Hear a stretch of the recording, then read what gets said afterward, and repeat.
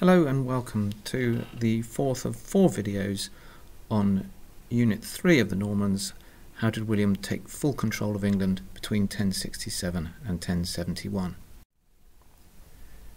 Now I'm going to just give you a quick recap of the first three lessons by just putting information on the screen there for you. I'm not going to talk you through it word for word because that's what the first three videos were about but it's here for if you want to pause the video and take any further notes, double check your understanding, then it's there for you. This slide covers the first uprisings by Edgar straight after Hastings in London, and then Edric the Wild in Hereford, and then Gytha in Exeter. After that we went on to look at examples of William being more pleasant to the Anglo-Saxons, trying to win them over. And an example, of course, was him letting many Anglo Saxon thanes and earls keep their land. Perhaps not quite with as much power attached, but certainly he wanted to keep them loyal. He even offered his daughter's hand in marriage to Earl Edwin. Another example was Gospatric, and of course he was relatively pleasant to the citizens of Exeter, apart from the hostage.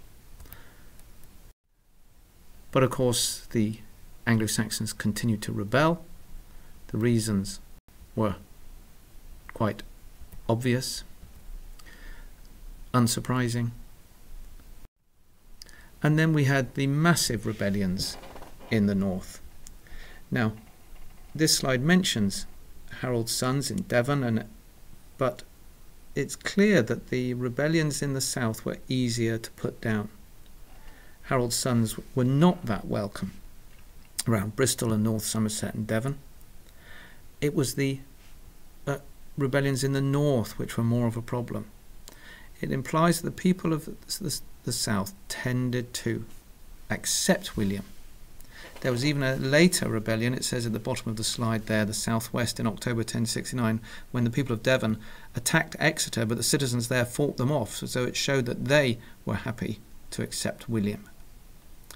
So it was the north where the real problems were, especially when they were joined by the Viking army, the Danes. And with all these rebellions, it was three times William had to march north, castle building and harrying as he went. And it was at the, his lowest point, his nadir, when he decided he had to use the harrying of the north it was kill or be killed for William. So that takes us to his response is obviously he tried building castles but it wasn't enough. He paid the Danes to go home but the harrying of the north was the final piece of those rebellions.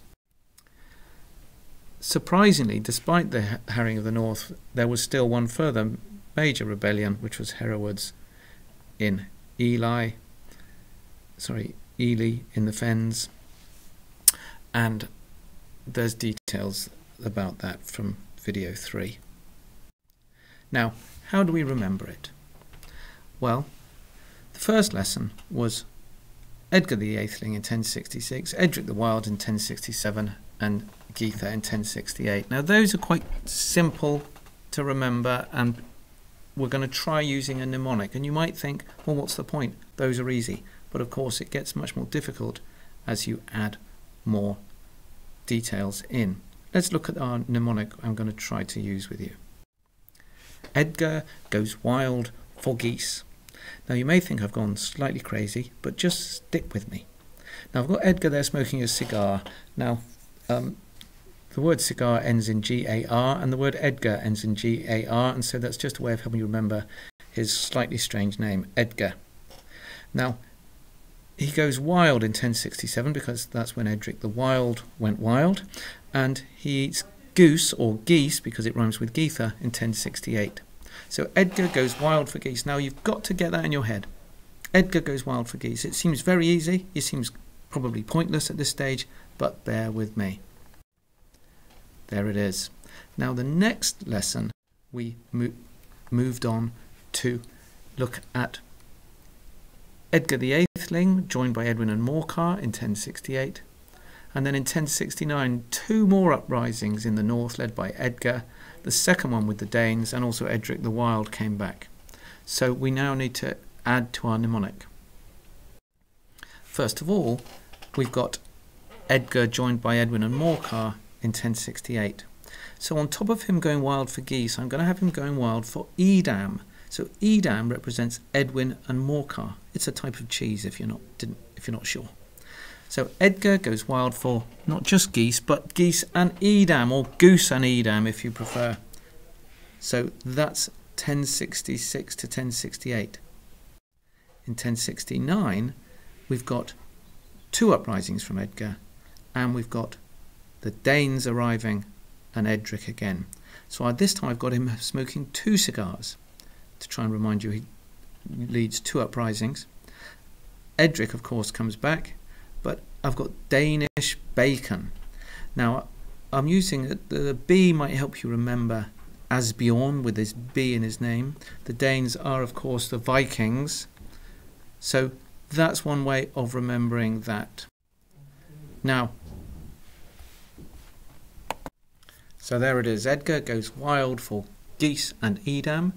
Edgar, with his two cigars, goes wild for Danish bacon. The last lesson we looked at was Hereward the Wake, who was joined by the Danes. So, what do we do with this one? We leave Edgar away and we find Hereward only awakes for Danish smoked bacon. The smoked bacon this time is to remind us that Svein, the King of Denmark, was back this time, not just Asbjorn. So the smoked is to give you the SV or the Swain, uh, and that hopefully is the end. There it all is. So you've got to try and work on that. Remember it. Edgar goes wild for geese and Edam. Edgar goes wild for Danish bacon, but Hereward awakes for Danish smoked bacon. So what do you do with it?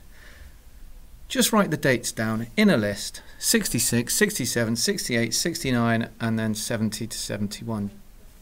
Write the mnemonic in order. So you've got to just try and remember where do we start with? Edgar goes wild for geese, and then see if you can build up the whole set. You should end up with something like this. Once you've got the mnemonic sorted, you should be able to just write in the rebellions for each year. So this mnemonic gives you this quite complex memory of the rebellions for each year in the correct order. This final slide, I'm not going to take you through it, but those of you who'd like your extra detail, you've got some special extra added in there to help you, the stuff in bold, which you, if you loved the mnemonic, you can perhaps try and work that stuff in. Have fun. Cheerio.